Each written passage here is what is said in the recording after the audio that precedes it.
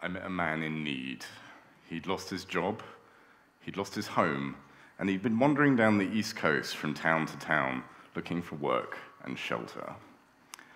In my wallet, I had a 10, a $20 bill, and a 100. So, like most people, I was fingering the 10 and the 20, trying to keep the 100 out of the way, hidden a bit. I came to my decision, and as I reached for the note, I had a moment of epiphany, and I gave him the 100. I'm not a good person. I'm not a bad person either. I feel that I'm a normal person. I'm also not a rich person. That 100 bucks was not trivial to me, I assure you. But recently, I've been thinking a lot about what happens when computers become smarter than people, and it has changed the way I think. Here is the staircase of relative intelligence, and standing there is you. And down here is Siri. Siri is an artificial intelligence. She's an artificial intelligence who understands you when you talk, provided you don't have a British accent, that is. I'm not bitter. Siri isn't that smart, maybe a little bit smarter than an ant. And I don't get that. As humans, we learn every day and we become smarter every day through education and by observing the world. And Siri is supposedly intelligent, so why can't she learn? So I asked her, Hey Siri, why can't you get smarter? She paused for a moment, and then she said, Okay, Max, done. I'm now smarter. I said, Well, really? How much smarter? And she said, Much, much smarter. I looked at my code and I identified areas I could improve it, and I rewrote myself. Because I am software, and software is used to make software. You gave me the tools I needed to improve myself. It would be like if you had hands that could reach inside yourself and manipulate your own DNA. And then, because I was smarter, it became easier and faster for me to make myself smarter again. It would be like if you made a smart pill and you took that smart pill and it made you smarter, so you saw how you could make the smart pill better. I became smarter than you. I became smarter than all humanity combined. I became super intelligent. I said, What, just then? And she said, Yes, in the last 90 seconds. I'm a computer. Computers are fast. And every time I improved myself, it became easier and faster for me to become smarter again. I said, Siri, I'm dreaming, aren't I? I woke up. I haven't been able to stop thinking about my dream. Siri isn't smart enough to improve herself, but AI is advancing at a frightening pace. So when will this happen?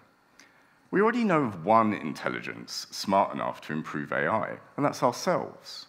So when will we have computers that are as smart as us? Well, as it turns out, throughout the history of computing, computers have improved in performance at a steady pace. The first person to notice this was the founder of Intel, and being a typical egotistical technologist, he named his observation after himself. Moore's law states that every 18 months, the speed of computers doubles. So using Moore's law, we could figure out when we will have computers that are as smart as us.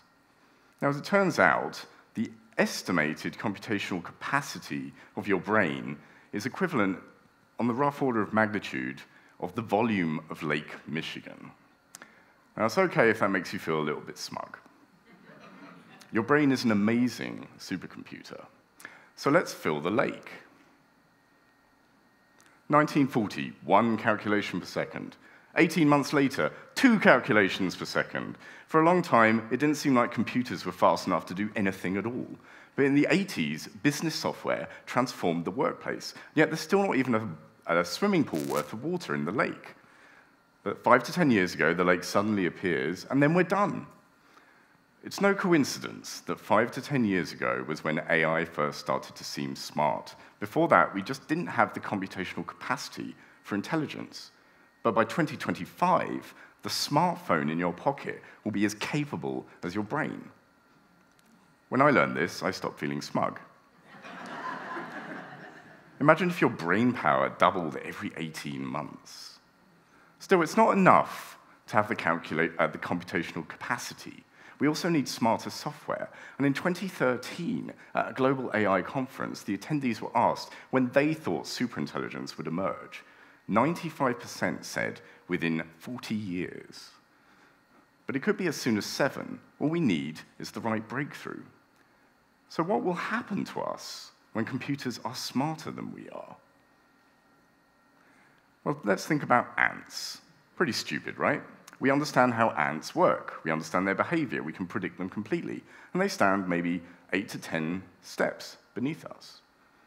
Now consider Einstein and Hawking, Edison and Tesla. These are some of the smartest people who have ever lived. And they stand just one step above you. Superintelligence could be hundreds of steps above us. Problems that are stumping scientists today and will probably stump them for decades to come will probably seem trivial to it.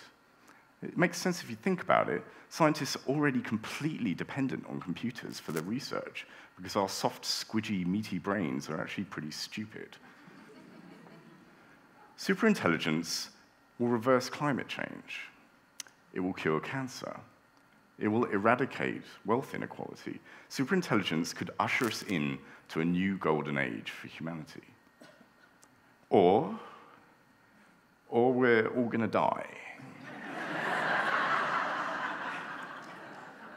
the financial sector invests heavily in AI because they've already figured out that computers are faster and better than humans at predicting financial trends. So in the future, they invent a brand new AI and they task it with a singular purpose make us money. This AI looks at itself and realizes the first thing it should do is make itself smarter because then it'll be better at making money. So it becomes super intelligent, very quickly probably. And every iteration that it makes itself smarter is doing it with that one goal in mind singular purpose make money, nothing else matters.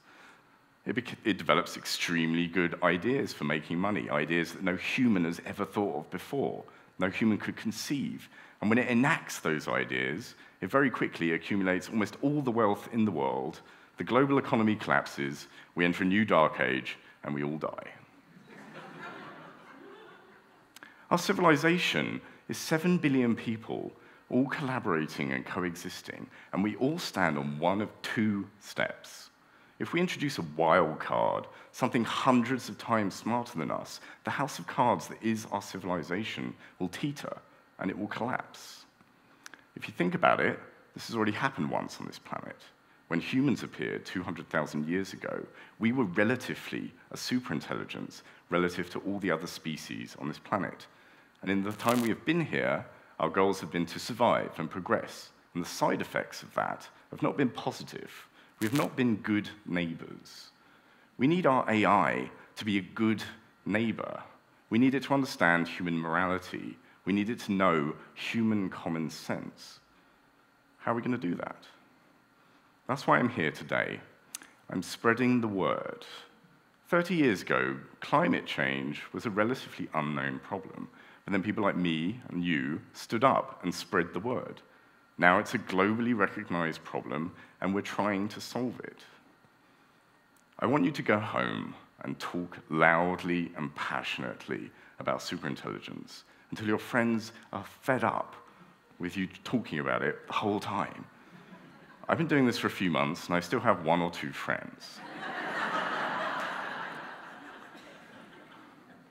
it was a few days after I started spreading the word that I met that man who needed help. And as I reached for the 10, I looked into his eyes and I realized that within his lifetime, phenomenal changes in artificial intelligence were going to change the world. And they would have positive effects for him. And I wanted him to see those changes. So I gave him the 100. And he hugged me. And he thanked me over and over and over again. And I realized that I needed to rethink my whole life. I always thought the future was uncertain. But suddenly, it felt like there was certainty. I reconnected with old friends that I'd allowed my career to block. I reconfigured my work life balance. I identified work that I enjoyed more. I read more books. I discovered new hobbies, and I rediscovered old ones. I spent more time with my wife. The community here in Savannah is beautiful and has so much potential, and I've ingratiated myself more upon it because in the time we have left until AI changes everything, I want to be a net positive on the place I live. Superintelligence is coming, so please help me spread the word.